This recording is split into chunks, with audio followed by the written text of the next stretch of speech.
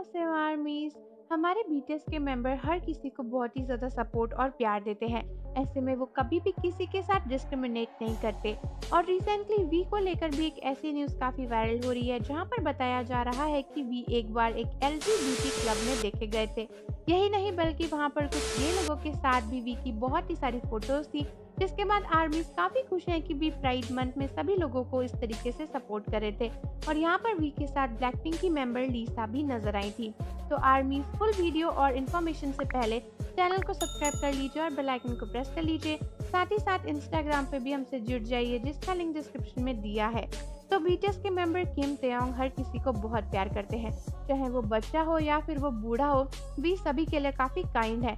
देखा गया है कि वो हर किसी को इक्वली ट्रीट करते हैं और सभी से बहुत अच्छे से भी बोलते हैं। ऐसे में ही रिसेंटली वी की कुछ फ़ोटोज़ काफ़ी वायरल हो रही हैं, जो कि जून 2022 की है, जहाँ पर वी अपने सलीन फ़ैशन शो के लिए यूरोप गए हुए थे और उन्हें कुछ नाइट क्लब्स में फ़ोटो खिंचवाते हुए भी देखा गया था।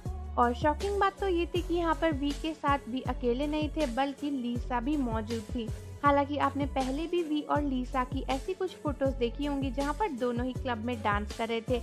लेकिन रिसेंटली ये टॉपिक ज़्यादा वायरल इसलिए हुआ क्योंकि बहुत ही सारे आर्मीज को पता चला कि एक्चुअली ये क्लब स्पेशली एल कम्युनिटी के लिए बनाया गया था। और अगर आपको नहीं पता तो मैं आपको बता दूँ कि ये स्पेशली अदर कैटेगरी के लोगों को सपोर्ट करता है, जिनको हम नॉर्मल भाषा में गे भी बोलते हैं। तो नॉर्मली आपने देखा ही होगा कि लोग इन सभी लोगों को काफ़ी डिफरेंटली ट्रीट करते हैं और अच्छे से बात भी नहीं करते। इसीलिए जब वी के ऐसे लोगों के साथ फ़ोटोज़ काफ़ी ज़्यादा वायरल होने लगी जिन्होंने काफ़ी अजीब से आउटफिट्स पहने थे और देखा गया कि वो एल कम्युनिटी से बिलोंग करते थे। तो सभी लोगों ने वी की काफ़ी ज़्यादा तारीफ़ करी कि वो कितने इजीली हर किसी के साथ कंफर्टेबल हो जाते हैं। यही नहीं बल्कि इस क्लब में जाना और इस तरीके से एंजॉय करना वी और लीसा की तरफ़ से काफ़ी बड़ा और काइंड मूव था, जिसके लिए दोनों को ही बहुत प्रेस किया गया। हालाँकि जैसा कि आप जानते ही हो आर्मीज की हेटर्स को तो हर जगह बहाना मिल जाता है कुछ ना कुछ बकवास करने का। वैसे काफ़ी सारे लोग बी और लीसा को इस मूवमेंट पर शिप कर रहे थे।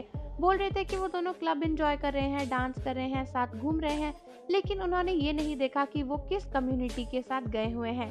ऐसी कम्युनिटी के साथ एंजॉय करना और उनको सपोर्ट करना सच में काफ़ी ज़्यादा अच्छी बात है और हर कोई ये काम नहीं कर सकता।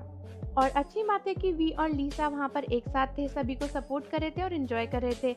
इसके वजह से बाकी लोगों को भी कंफर्टेबल फील हुआ होगा और वो भी अपना फ्री टाइम अच्छे से एंजॉय कर पाए होंगे। आफ्टर ऑल वी और लीसा भी इंसान ही हैं।